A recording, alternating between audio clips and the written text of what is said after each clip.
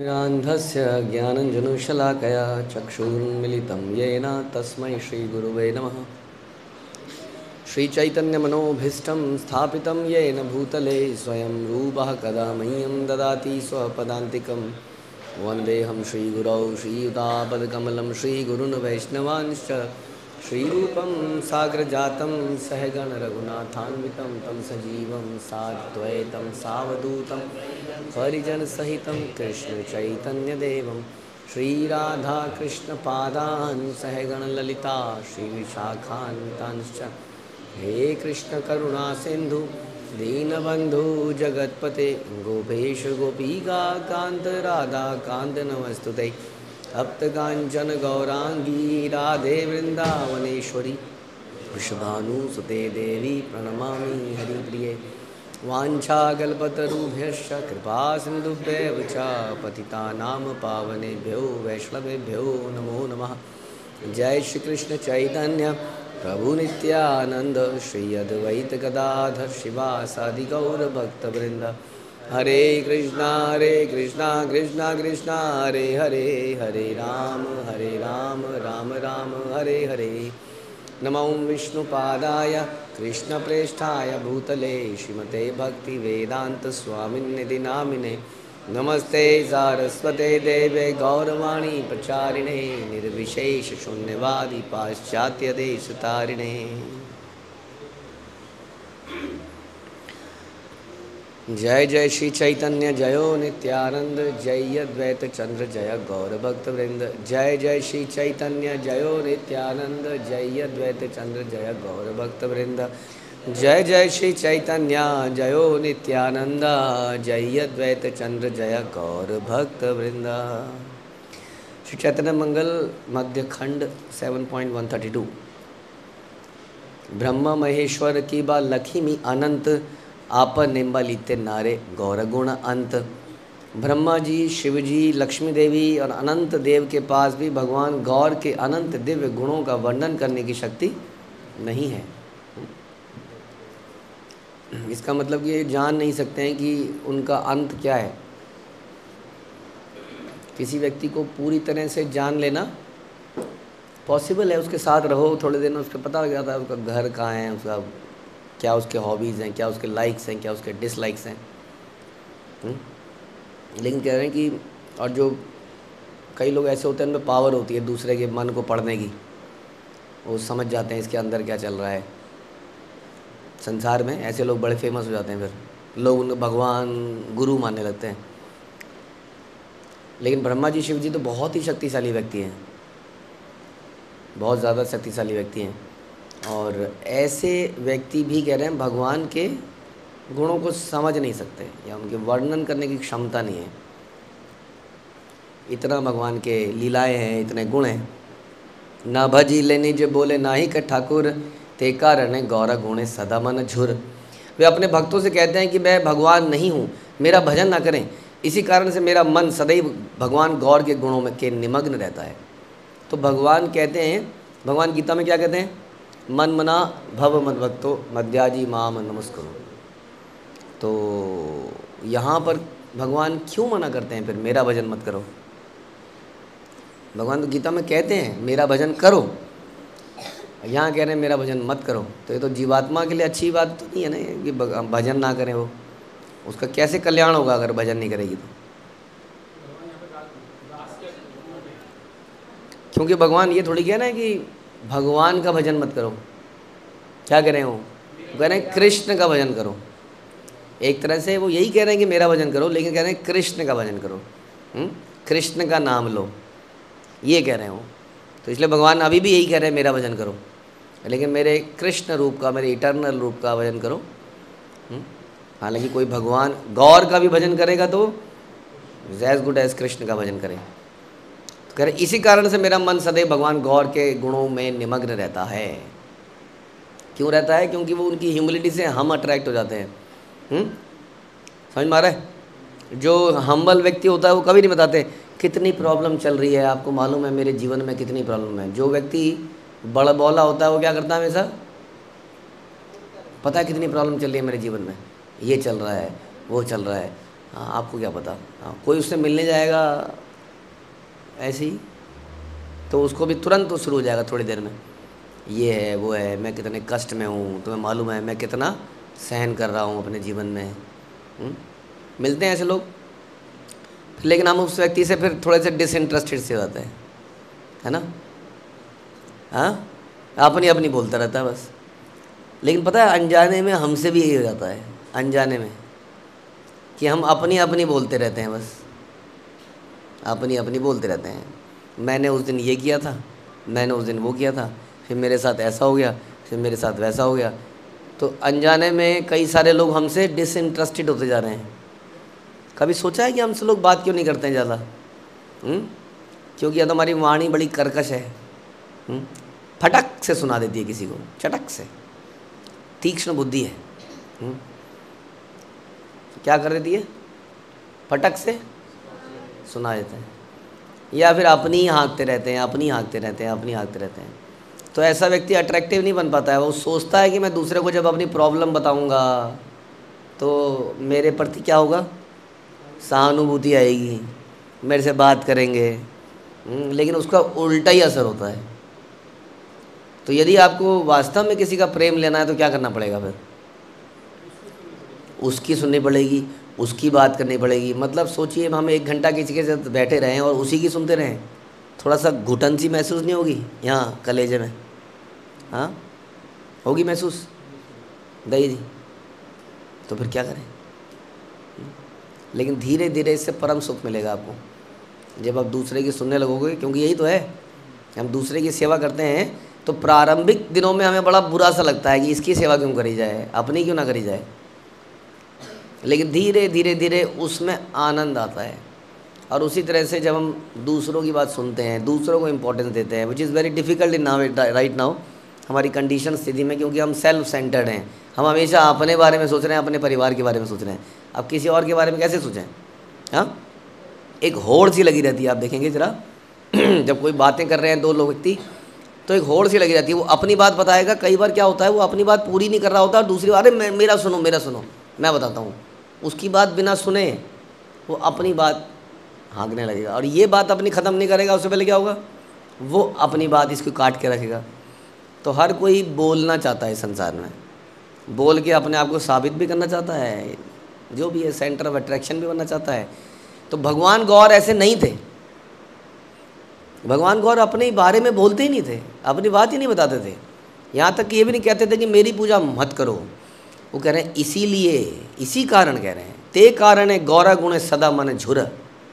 इसीलिए मेरा मन हमेशा उनके चरणों में उनके गुणों में निमग्न रहता है। Krishna become so attractive why उनकी एक ऑपुलेंस है। क्या है वो? हाँ? हाँ कि वो टोटली वैरागी है। हाँ उन्हें हाँ, इस तरह से। Is not self self centred person Krishna भी ऐसे व्यक्ति हैं। और इस कारण से वो बड़े क्या बन जाते हैं? अट्रैक्टिव हो जाते हैं। कोई भी यहाँ तक कि गोपियाँ भी उनको नहीं हाँ, हाँ खींच सकती हैं अपनी तरफ़ ऐसा? बताइए जी। गोपियाँ खींच सकती हैं जानी माता जी? कृष्ण को अपनी तरफ़ खींच सकती हैं? हाँ जी। तो कृष्ण गोपियों के बंधन में हैं। अहम भक्त पराधीन। कृष्ण गोपियों के बंधन में है? नहीं है? तो फिर क्यों बोलते हैं? हैं? हैं? हम्म। और ऐसा गोपियों को लगता है कि हैं, लेकिन भगवान अचानक से गायब हो जाते हैं रासलीला से। तो कहाँ है सकते? उसके बाद वो क्या करती हैं? वो रोती है बिलकती है, बेल से पूछती हैं, हिरण से पूछती हैं। हाँ? भगवान आते हैं? नहीं आते हैं? तो कहाँ बंधन में है? बताइए। बंधन में? बंधन में होते तो जाते ही क्यों फिर? गोपियाँ जाने देती उन्हें? तो बंधन में है? कथा तो बता रही है, नहीं है? कोई बंधन का व्यक्ति स्वतंत्र कैसे हो सकता है कि वो चला जाए उस जगह से? बताइए। अगर कोई सेवक है तो स्वामी को छोड़ के ऐसे जा सकता है वो? अच्छा जी, बाकी का देख लेना, मेरा मूड इतना ही डांस करने का था, मैं जा रहा हूँ। इतना ही झाड़ू मारना था, बस हो गया। कर सकता है सेवक? तो सो सेवक नहीं हुआ ना? तो बंधन में कहाँ हुआ? बंधन का व्यक्ति स्वतंत्र डिसीज़न कैसे ले सकता है? ये बताइए। सिंपल क्वेश्चन है। बंधन का व्यक्ति स्वतंत्र डिसीज़न कैसे ले सकता है? सिंपल क्वेश्चन बताइए, इसका आंसर क्या है? ले सकता है? तो इसका मतलब स्वतंत्र रहे ना? हाँ? यानी कि वो बंधन में भी अपनी इच्छा से ही है। तो इसका मतलब स्वतंत्र है? हमेशा ही। जो बंधन में भी अपनी इच्छा से है, उसका मतलब हमेशा स्वतंत्र ही है। हुँ? या हमेशा वैरागी है। हर चीज़ से अटैच तो है, अगर मान लें, लेकिन डिटैच्ड भी है। एक सेकंड में वो चले जाते हैं। और ये जो उनकी रिनंसिएशन है, ये उनको और ज़्यादा अट्रैक्टिव बना देती है। इसलिए सर्वाकर्षक कृष्ण में ये भी एक ऑपुलेंस है। और फिर लोग ढूंढते रहते हैं, कहाँ गए कहाँ गए कहाँ गए कहाँ गए? हम्म? तो आपको भी अट्रैक्टिव बनना है? पहली बात तो नहीं बनना है। बट हम चाहते हैं कि हमें लोग प्रेम करें एटलीस्ट है ना? तो फिर क्या करें? तो हमें भी रिनंसिएशन दिखाना पड़ेगा। त्याग, समर्पण, दूसरे के लिए जीना, तब हमारे को प्रेम मिल पाएगा। हुँ? हम्म? नहीं तो नहीं मिलेगा। और यही हमारी सारी कमी है। हम सोचते हैं जब तक हम दूसरे को जता नहीं देंगे कि मैंने तेरे लिए क्या क्या किया, जब तक हम अपने बारे में नहीं बताएँगे हाँ तो दूसरे व्यक्ति को पता कैसे चलेगा? राइट और इसी चक्कर में हम लोग क्या हो जाते हैं? अनअट्रैक्टिव हो जाते हैं। हम्म। अपने मुँह मुँह, अपने मुँह। बोलो जी। अपने मुँह। पता ही प्रभु जी। पता ही नहीं है। अपने मुँह मियाँ मिठू। मिठू कौन होता है? पता नहीं आपको मिठू कौन होता है। तोता। तोता क्या करता है? अपनी बड़ाई करता रहता है। उसको रटवा दो कुछ, वो बोलता रहेगा? हम्म? तो जो अपनी बड़ाई करता रहता है, उसको हम क्या कहते हैं? तोता। समझ में आया? तो तोता नहीं बनना है। हुँ? हम्म? अपनी बड़ाई नहीं करनी है। अपनी नहीं चलानी है हर जगह पर। जैसे छोटे छोटे बच्चे हमारे गेम खेलते हैं कुछ। हाँ क्या कोशिश करते हैं? अपनी चलाने की कोशिश करते हैं। मेरी चलेगी। तो क्या बन जाते हैं वो? अनअट्रैक्टिव हो जाते हैं। नीरस, कोई उनसे मिलना नहीं चाहता है। जबकि वो चाहते हैं कि लोग मेरे को देखें, मेरे को सुने, मेरी ही चले। समझ में आ रहा आप लोगों को? ये जो हम प्रयास कर रहे हैं ना, इससे उल्टा असर हो रहा है। सोचिए, फ़ायदा नहीं हो रहा इस समय। We are becoming low popular less attractive और यदि आप चाहते हैं कि लोग आपकी तरफ़ खिंचे चले आए हैं तो उल्टा करना पड़ेगा इसका उल्टा। क्या करना पड़ेगा? उनको सर्व करना पड़ेगा, उनको इम्पोर्टेंस देनी पड़ेगी। जब हम दूसरों को इम्पोर्टेंस देंगे तो क्या होगा? तो हमारी इम्पोर्टेंस बनेगी। एटलीस्ट इसलिए दूसरों की सेवा कर लीजिए। हम्म? तो ऐसे ही है, भगवान गौर इसके बारे में बता रहे हैं। इसलिए कह रहे गौरपद भज भाई न करी हेला संसार तरीते मात्र सब ए भेला। हे मेरे भाइयों, कृपया गौरांग महाप्रभु के चरणों का भजन करें, उनकी उपेक्षा ना करें, क्योंकि संसार सागर को पार करने का यही एकमात्र उपाय है।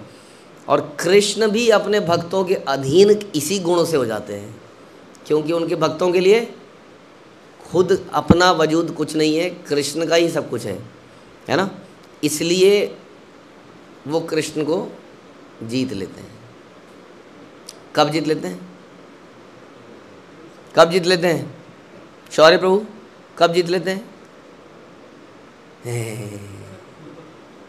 कब जीत लेते हैं? भक्त भगवान को कब जीत लेते हैं? हाँ जी, इनका कुछ नहीं हो सकता। आप बताइए जी। जब सब अच्छे से ये समझ नहीं आता मैं सिंपल शब्दों में बताइए। भक्ति बहुत बड़ा शब्द है। जब हम अपनी चिंता नहीं करते हैं जब हम भगवान की चिंता करते हैं हम्म, तब हम भगवान को भी अट्रैक्ट कर लेते तो हम अट्रैक्टिव बन जाते हैं। समझ में आया? कृष्णा कैसे इतने अट्रैक्टिव बन गए? क्योंकि उन्हें पूरे संसार में जो उनका भजन नहीं कर पा रहा है उसको भी हवा दे रहे हैं उसको भी पानी दे रहे हैं उसको भी खाना दे रहे हैं। जो उनको गाली दे रहा है उसको भी अन्न दे रहे हैं। That's way he has become all attractive तो इसलिए ऐसे गौरांग महाप्रभु के चरणों का भजन करें। एहन ठाकुर कहो नाही है आर, कह लोचन सब गौरा अवतार। भगवान गौर पूर्ण पुरुषोत्तम भगवान है, उनके समान कोई अन्य अवतार है ही नहीं। लोचन दास ठाकुर कहते हैं कि सभी अवतार भगवान गौर से ही प्रकट होते हैं और इस प्रकार ये चैप्टर यहीं समाप्त होता है। और अगला चैप्टर है आठवां। कुष्ठ व्याधि निस्तार और बलदेव आवेश। हम्म? कुष्ठ, पता क्या होता है आप लोगों को? कुष्ठ क्या होता है?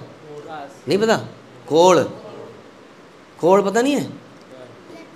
पता है ना? हाँ जी। लेप्रसी, क्या होता है उसमें? हाँ। अंग जो है गल गल के गिरने लगते हैं। तो उसका क्या इस चैप्टर में बताया जाए उसके बारे में? हरि नाम नारायण सची दुलाल हेम गौरा। हरि नाम, हरि राम नारायण सुवर्ण के समान उत्तम सची माता के पुत्र। आर अपरूप शुन गौरंग चरित सुनी ले पाई थे, पाई बे ए थे बड़ा ही पीड़िता। कृपया भगवान गौर की अन्य अद्भुत लीला का श्रवण करें। जो कोई भी इस लीला का श्रवण करेगा, वो क्या प्राप्त करेगा? क्या चाहिए आप लोगों वो भगवत प्रेम प्राप्त करेगा। निज जाने सन पहूँ, पथे चली जाए, कृष्ण कथा रसे अंग आवेश दोलाए। अपने पार्षदों के साथ पथ पर चलते हुए भगवान गौर ने कृष्ण कथा का आस्वादन किया। कहाँ पर चलते हुए? कहाँ पर चलते हुए? कहाँ पर चलते हुए? ड्रीम्स में। ड्रीम्स में नहीं, पथ पर। पथ पर चल रहे हैं। हाँ? तो चलते हुए भी कृष्ण कथा हो सकती है, इसका मतलब। चलते हुए भी। हम लोग करते हैं चलते हुए। तो जब चलते हुए भी हम कृष्ण कथा कर सकते हैं, चलते हुए लेक्चर भी सुन सकते हैं। हाँ? तो अपने पार्षदों के साथ रास्ते पे चल रहे थे और कृष्ण कथा का आस्वादन कर रहे थे। उस रसास्वादन के आवेश से उनके श्रीअंग भावावेश से कंपित हो उठा। कांपने लगे प्रसन्नता से। से ही पथे छिल कुष्ठ व्याधि एक जन विनय करिया कहे गौरांग चरण। उस पद पर एक कुष्ठ रोगी था। कुष्ठ रोगी कोड़ का रोगी, लिप्रसी का रोगी हम्म? कुष्ठ रोगी था, जिसने भगवान गौरांग के चरणों पर विनम्रता पूर्वक निवेदन किया। भूमि ते पड़ी पर नाम करे, कातर हैया किचु सविनय बले। भूमि पर गिरते हुए उसने दंडवत प्रणाम अर्पित किया। वह अत्यंत दुखी होकर महापुरुष से विनम्रतापूर्वक कुछ वचन कहने लगा। कौन? कोड़ी सब लोग के बले, प्रभु तुम्ही जनार्दन तुम्ही से पुरुषोत्तम तुम्ही सनातन तुम्ही देवे देवेश्वर, त्रिजगत बंधु, अमार उद्धार कर करुणार सिंधु। हे प्रभु, हर कोई कहता है कि आप भगवान जनार्दन हैं। आप शाश्वत पूर्ण पुरुषोत्तम भगवान हैं। आप देवताओं के स्वामी हैं। आप तीनों लोकों में सभी के मित्र हैं। हे कृपा के सागर, कृपा मेरा उद्धार कीजिए। कैसे उद्धार कीजिए? मेरे रोग को दूर कीजिए। हाँ? क्योंकि आप इतने दयालु हैं। पति पावन शोनी आयलू तो रठाई ताहर तारा आमारे तोमी सबर गोसाई। आप पतितों के उद्धारक हैं। यह सुनकर मैं आपके पास आया हूँ। ये सभी के स्वामी, कृपया मेरा उद्धार करें। ओहे अकिंचन नाथ सचिर दुलार तारा हमारे प्रभु गोविंद गोपाल। हे सची के पुत्र, हे निर्धन एवं अकिंचन व्यक्तियों के स्वामी, हे प्रभु, हे गोविंद गोपाल, कृपया मेरा उद्धार करें। हुँ? निर्धन और अकिंचन व्यक्तियों के स्वामी। अमर अधिक पापी नाही त्रिभुवन, दुसह एक कुष्ठ व्याधि कर परित्राणे। हे प्रभु, तीनों लोगों में मुझसे पापी कोई नहीं है। क्यों नहीं है? क्या लक्षण है उसका? कि मुझे असहनीय कुष्ठ रोग हो गया है, उससे मुझे मुक्त कीजिए। हाँ?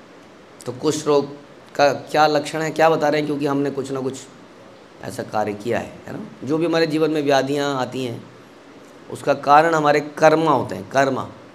इसलिए कहते हैं हमारे शास्त्र की extra dependence on doctor is not advise क्योंकि डॉक्टर क्या करेगा बेचारा? है कि नहीं? जब हमारे कर्म ही ऐसे हैं तो। आप कहोगे नहीं, मेरे शरीर में कुछ प्रॉब्लम्स हैं, वो शरीर में प्रॉब्लम भी क्यों हैं? क्योंकि हमारे कर्म हैं। हाँ। तो ये है, इसलिए नॉर्मल कार्य हम करते हैं कर्मण्यवाधिकार स्थित लेकिन हम डिपेंड किस पे होते हैं? भगवान पे होते हैं, कि वही हमें फल देंगे, जो भी फल है। हाँ इसलिए यदि कोई अपना भक्ति अच्छे से करेगा तो कैसे रहेगा? वो जीवन में सुखी रहेगा। हाँ पुराने कर्म के फल आ सकते हैं, बीमारियाँ आएँगी, लेकिन फिर भी वो उनको ओवरकम कर पाएगा टॉलरेट कर पाएगा और आगे बढ़ पाएगा। तो वास्तव में सुखी रहने का एकमात्र तरीका है कि हम कृष्ण भावना में करें। हाँ और प्रॉब्लम यह है कि हम चाहते नहीं हैं कि हमारे बच्चे सुखी रह पाएँ। हमारा, हमारी तो जो हो गई हो गई। इसलिए हम डिस्ट्रैक्ट हो जाते हैं और उनको कर देते हैं। यदि हम चाहते हैं कि ये लोग सुखी रहें तो इनको भक्ति में लगाना ही पड़ेगा, और कोई चारा नहीं है इसका। इसलिए कह रहे हैं कि मुझसे बड़ा पापी कोई नहीं है कि मुझे बीमारी हो गई। ए बोल या प्रभु, ऋषिला अंतरे कोप दृष्टे, चाहे कुष्ठ, व्याधि रहू परे। कुष्ठ रोगी के इन शब्दों को सुनकर भगवान गौर हृदय से में क्रोधित हो गए। क्रोधित नेत्रों से उन्होंने कुष्ठ रोगी को देखा। ओहो। एक व्यक्ति भगवान से दया मांगने आया है, भीख मांग रहा है और भगवान क्रोधित हो जा रहे हैं उसके ऊपर। क्यों हो रहे हैं क्रोधित उसके ऊपर? हाँ जी, बताइए। क्रोधित क्यों हो रहे हैं? हाँ?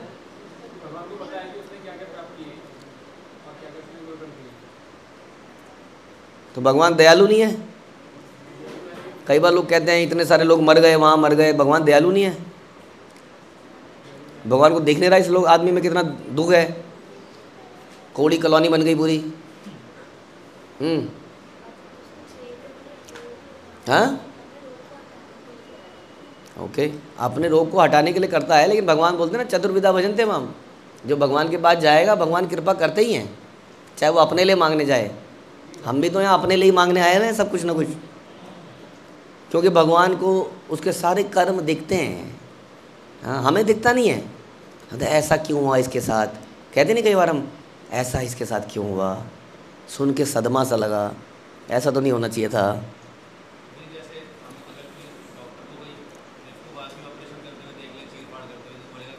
हम्म। डॉक्टर को कोई चीर फाड़ करते हुए देखे तो बोलेगा निर्दयी है, लेकिन डॉक्टर को पता है कहाँ पर से क्या निकालना है इसके शरीर के अंदर से। हाँ? तो कृष्ण नोज़ कि क्या चल रहा है, इसने क्या किया है, इसके पाप कैसे ख़त्म होंगे, वगैरह वगैरह। हम्म? तो इसलिए भगवान को एकदम से क्रोध आ गया, और ख़ास तौर पे भगवान को क्रोध कब आता है?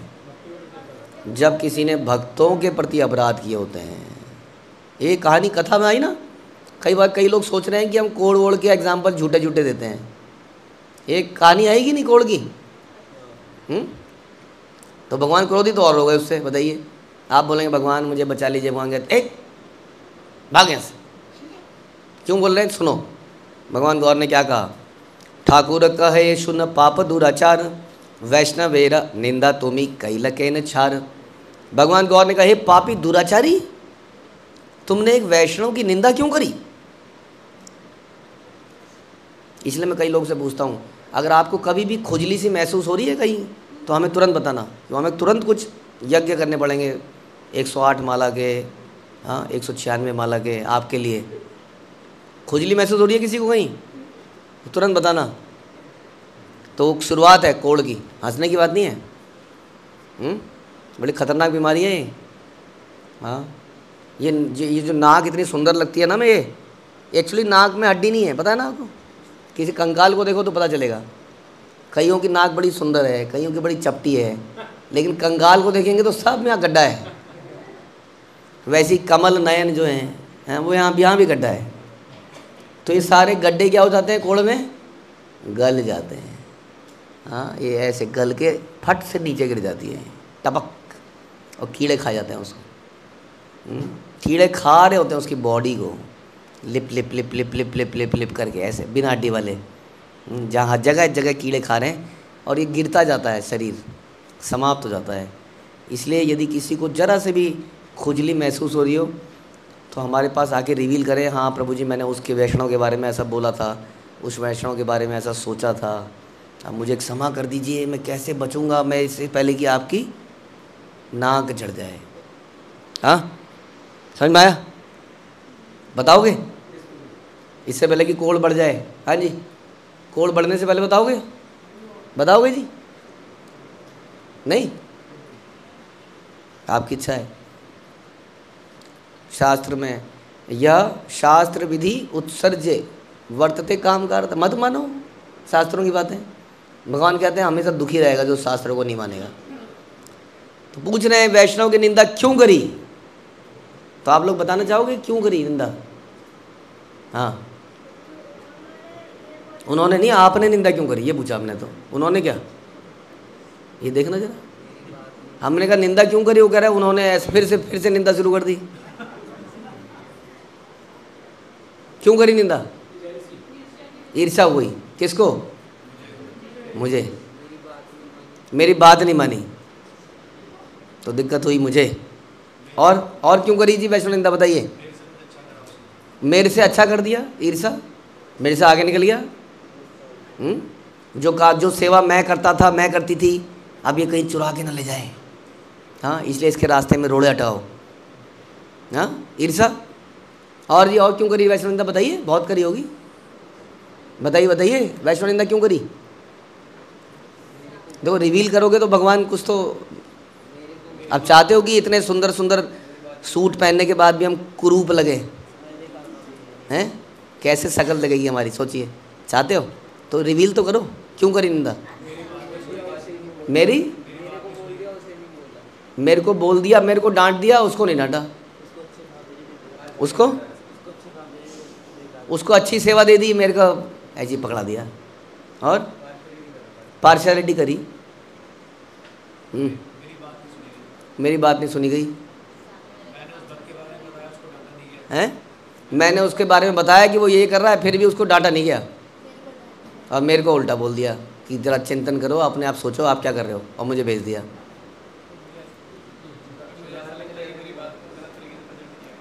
मुझे ऐसा लग रहा है मेरी बात को गलत तरीके से प्रेजेंट कर दिया उस व्यक्ति ने। हाँ? तो उस व्यक्ति से ईर्षा हो गई। निंदा हो गई उसकी। मेरे बारे में तो सभी ऐसा सोचते हैं। पता नहीं सब पे इतना टाइम क्यों है कि आप ही के बारे में सोचते हैं। सेल्फ सेंटर आदमी हमेशा ये सोचता है ना, मेरे बारे में सोच रहा होगा। हाँ? कोई उधर से हंस रहा है, जैसे वो लंगड़ा था, रूप गोस्वामी हंस रहे थे। मेरे को देख के ही हंसे हैं, ज़रूर। हम्म? ऐसा होता है? ये ज़रूर खिचर पिचर करके खुश लड़के कुछ माताएँ तो उधर से वो सोचती है, मेरे बारे में ही कर रही हैं। हाँ प्रभु जी मेरे बारे में ही सोचती हैं। हम्म? मेरे बारे में पॉइंट कहा जा रहा होगा। हाँ ये ये मुझे सुनाया जा रहा होगा। तो इस सबसे वैष्णव निंदा हुई? अब जिसने नहीं बताया हम क्या करें? तो यहाँ उन्होंने पूछा, तुमने वैष्णव निंदा क्यों करी? संसारित यत एक जीव से ही मोर मित्र, वैष्णव वेर द्वेष करे से ही मोर शत्रु। ओ इस जगत का प्रत्येक जीव मेरा मित्र है। परंतु जो भी एक वैष्णव से घृणा करता है, वो मेरा शत्रु है। लेकिन वैष्णव कौन होना चाहिए जो किसी से घृणा ना करे? हैं? आप कहोगे, देखिए जी, सब उससे उससे घृणा करते हैं। हाँ? लेकिन प्रॉब्लम है कि वो सबसे घृणा करता है। तो घृणा करने वाला व्यक्ति वैष्णव कैसे हो सकता है? कैसे पता चलेगा कि जब भी उसके साथ बैठेंगे, वो कोई बुराई करेगा, वो कोई गलती निकालेगा? इसका मतलब उसके हृदय में घृणा का सागर है, करुणा का सागर नहीं है हम्म? इसलिए सागर में से जब निकलता है, कुछ नहाते हैं हम लोग थोड़ा सा पानी आँख में और मुँह में चला जाता है, फिर आए, गंदा, नमकीन, आ, जलन हो गई, जलन हो गई देखने में कितना सागर लग रहा था हम्म? समझ में आया दूर से देखा तो एक लड़की बाल सुखा रही थी, पास जाके देखा तो गाय पूछ हिला रही थी।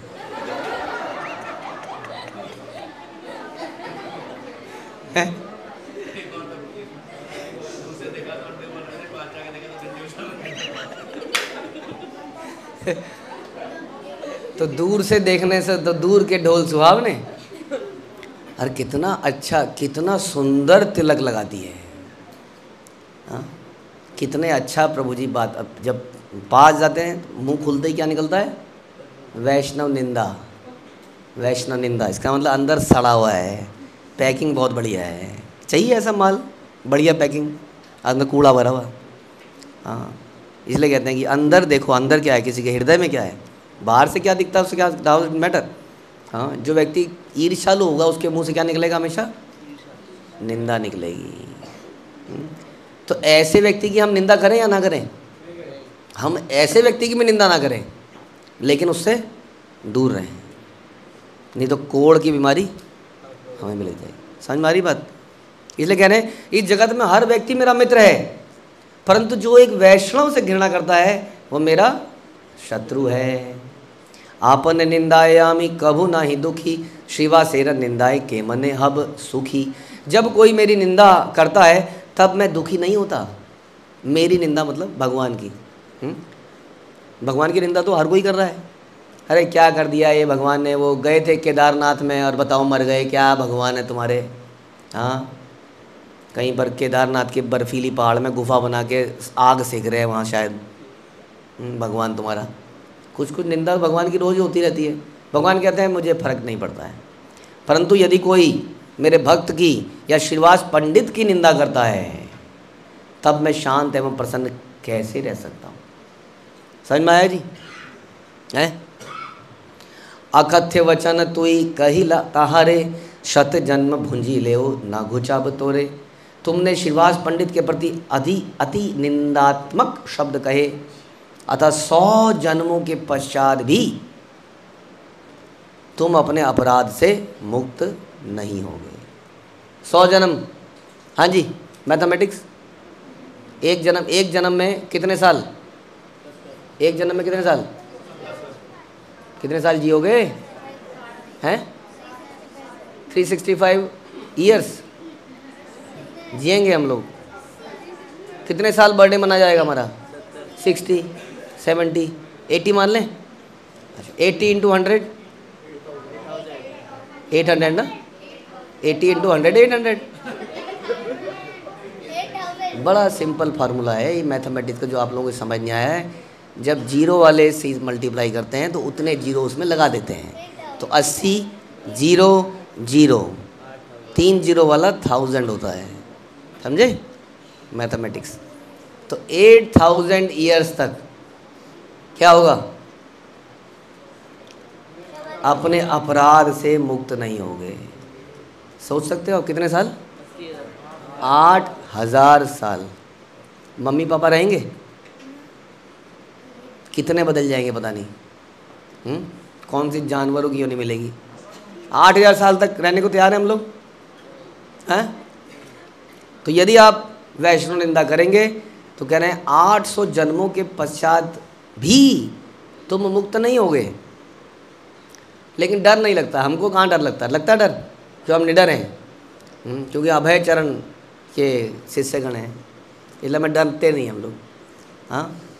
कौन नहीं डरता है संसार में? मूर्ख होता है ना वो डरता नहीं है। हम्म, जैसे यहाँ लैंड माइन बिछाई। लैंड माइन पता क्या होता है? ज़मीन के नीचे बॉम्ब। तो समझदार होगा वो ऐसे पैर रखेगा ऐसे। हम्म, और मूर्ख क्या करेगा? फ्रॉक जंप करेगा वहाँ पर। हाँ? अब भड़ाक से फूटेगा कदम मूर्ख व्यक्ति है। इसलिए क्या कहते हैं हम लोग? कि गुरु की जो हम बात सुनते हैं तो क्या कहते हैं हम उसको? कैसी मति होनी चाहिए हमारी? गुरु पूजा में बोलते हैं आप लोग रोज? सावधान मते। सावधान। समझ में आ रहा है? सावधान। विश्राम। हिंदी हिंदी मीडियम के हम लोग, हमें इसलिए यही पता है। सावधान! कैसे करते हैं? ऐसे। है ना?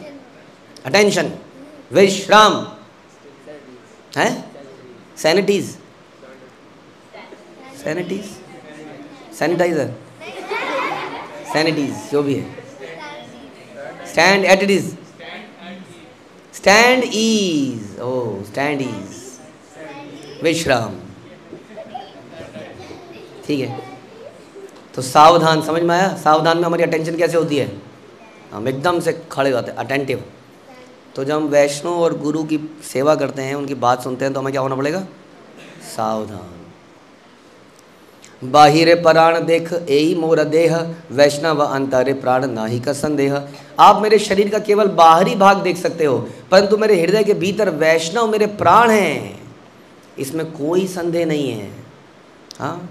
मेरे हृदय के प्राण कौन है? वैष्णव है। वैष्णवेर सेवा करे, मोर करे, द्वेष तार परित्राण करी घुचाई क्लेश। यदि कोई मुझसे घृणा करता है, परंतु वैष्णव की सेवा करता है तो गलत है कि नहीं है? कोई व्यक्ति भगवान से घृणा करे और वैष्णव की सेवा करे तो गलत है कि नहीं है? गोलू प्रभु। अरे, गलत है कि नहीं है? बोलो राम। बलराम के लिए बताना बड़ा मुश्किल है क्योंकि वो तो धुआँ ढूंढ चलता रहता है दिन रात। बताइए जी, भगवान की सेवा नहीं कर रहा है, घृणा कर रहा है और वैष्णव की सेवा कर रहा है। गलत है कि नहीं? गलत है? सही है। तो यानी कि भगवान से घृणा करनी चाहिए। दोनों गलत है। सही भी है, गलत भी है। तो किससे सही है और किससे गलत है? हाँ? जैसे कोई व्यक्ति अच्छा अब दूसरा लेते हैं। कोई व्यक्ति भगवान से प्रेम करता है, वैष्णव से घृणा करता है। नहीं तो पहला गलत है, दूसरा गलत है? दूसरा गलत तो पहला सही है। यानी कि भगवान से घृणा करी जा सकती है। हैं? दोनों ही गलत हैं।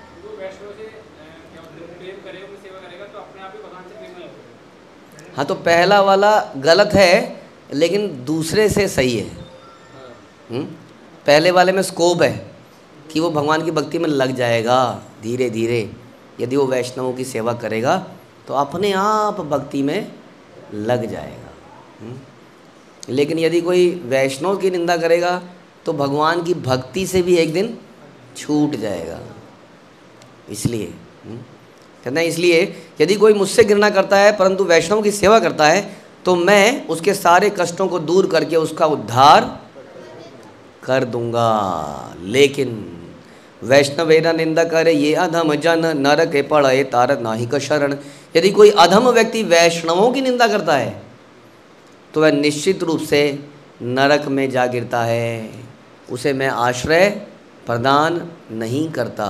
तो भगवान जो सबको आश्रय देते हैं वो वैष्णव निंदक को आश्रय नहीं देता। सोचिए। यानी कि उनके, उन बड़े फ़ेमस है भगवान कि, जो उनकी शरण में आता है, उसको शरण देते ही हैं। बड़े बड़े गुंडों को, बदमाशों को भी दी। लेकिन जो वैष्णव निंदक है, उसको शरण नहीं देते। वो कहाँ गिरता है? तो पहली प्रॉब्लम क्या हुई? उसको कोड़ हुआ। जीवन में बीमारियाँ आई, दुख आया। भक्ति के प्रोसेस में डिसइंटरेस्ट आ गया। लक्षण है। भक्तों से देख के जलन सी होने लगी ईद ईर्षा होने भीड़ से मुझे दिक्कत है।